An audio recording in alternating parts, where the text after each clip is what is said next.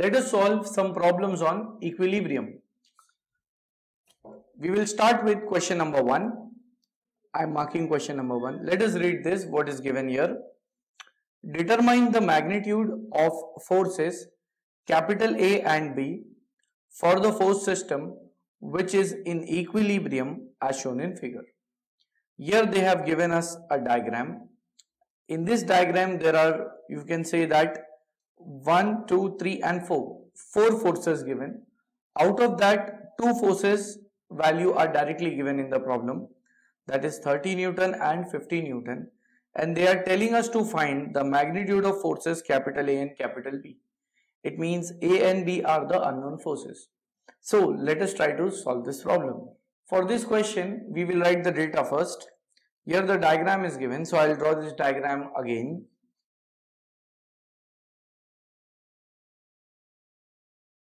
This is the diagram which is given. Here we have a concurrent force system and it is said in the question, determine the magnitude of forces capital A and B. We have to find the value of these two unknown forces. So what is the value of A? That's my question. And what is the value of B? These are my questions 1 and 2. Next, for the force system which is in equilibrium as shown in figure. It means they have told us that this force system because of the action of the, all these forces the system is in equilibrium. In equilibrium means there are no disturbances. The resultant you can say that effect of resultant over these is cancelled out by the equilibrium force. So now it is said that the force system is in equilibrium. If system is in equilibrium, the meaning is resultant is 0.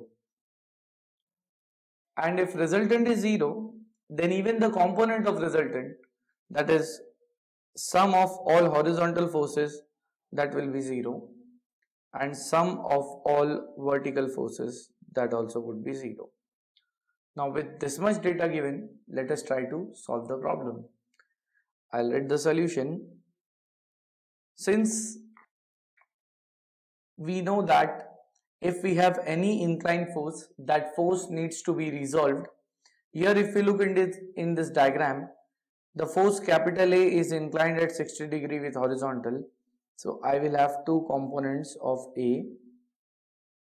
The component which is you can say that horizontal it will be a cos 60 degree and vertical will be a sine 60 degree. Next 50 newton it is inclined at 30 degree with horizontal. So here horizontal component will be 50 cos 30 degree.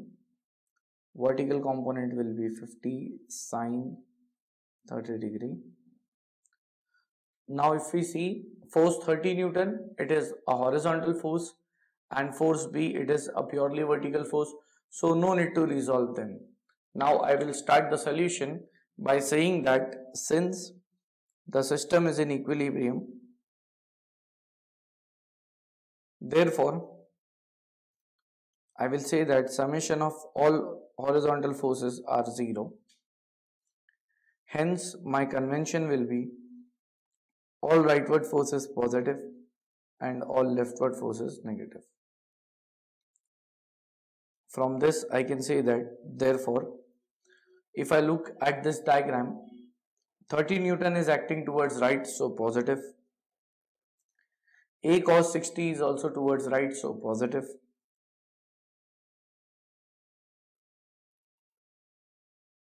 50 cos 30 is towards left, so negative.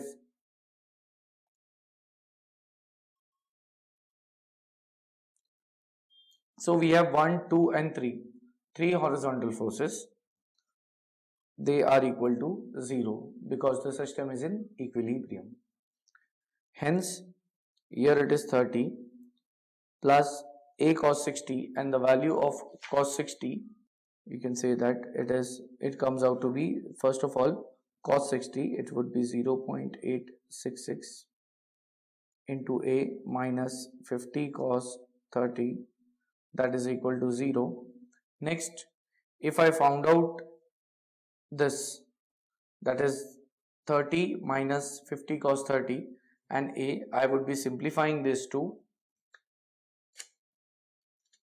it simplifies to therefore 0.5 a is equal to 13.30 now I need to calculate the value of a hence a is equal to 13.30 divided by 0.5 and finally my answer of a that comes out to be 26.6 Newton.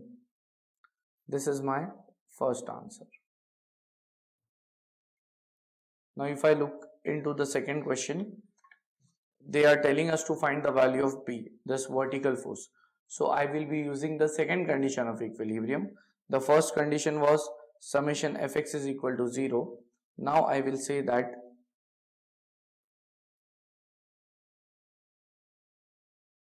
summation of fy is equal to 0 where all upward forces are to be taken positive all downward forces are to be taken negative hence here we have a sine 60 as positive upward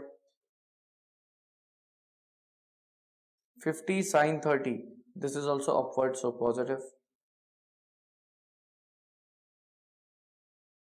Force B is acting downward so negative.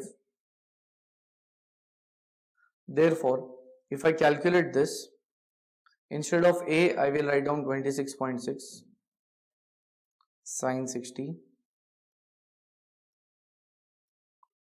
plus 50 sine 30 that comes out to be 25 minus b is equal to 0 therefore 26.6 sine 60 plus 25 the answer is 48.4 minus b is equal to 0 and therefore b is equal to 48.4 newton.